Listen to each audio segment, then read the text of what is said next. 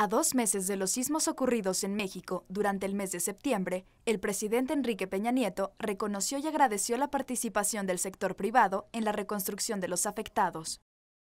Les quiero reconocer a cada uno de ustedes los esfuerzos que han realizado, la voluntad de ser aportante y contribuyente a esta tarea de reconstrucción.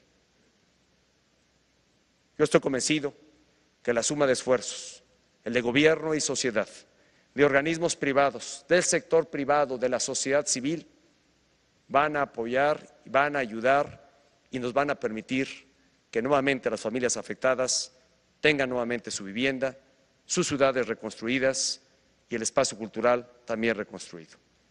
Hagamos esto porque así lo demandan los miles de personas afectadas, porque así lo está demandando la sociedad en su conjunto, que ha sido solidaria con las personas afectadas al encabezar una reunión para informar sobre la participación del sector privado en la etapa de reconstrucción, el jefe del Ejecutivo dejó en claro que el despliegue para ayudar a la población afectada no fue improvisado o de ocurrencia, al tiempo que destacó la importancia que ha tenido la transparencia. El Gobierno de la República ha hecho un esfuerzo adicional a lo que significa el reto de atender a la población damnificada, de prestar ayuda y de prender las labores de reconstrucción.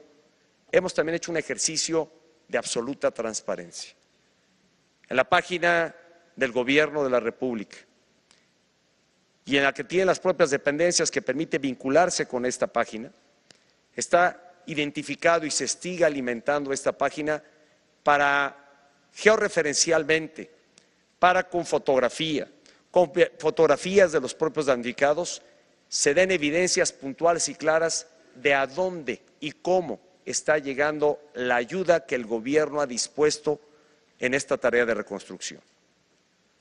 Celebro también que el sector privado esté haciendo un ejercicio propio, un ejercicio también de transparencia, ante dudas y especulaciones que ha habido entre la opinión pública.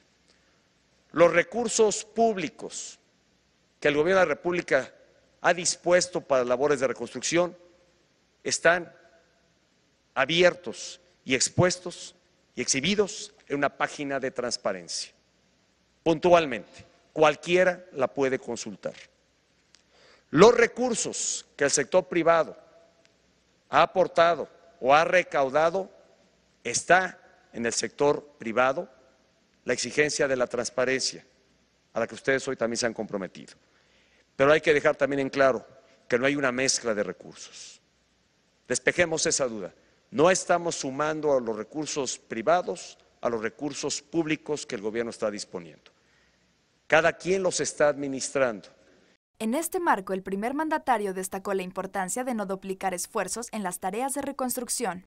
El Gobierno de la República pondrá ante ustedes una cartera de opciones hacia dónde dirigir los recursos que ustedes están administrando. Y el Gobierno de la República será absolutamente transparente en la forma en que está ejerciendo los recursos que ha dispuesto para esta tarea de reconstrucción. El presidente Peña Nieto se dijo convencido que la suma de esfuerzos permitirá impulsar la transformación de las comunidades afectadas. Con información de Araceli Rivera, Notimex.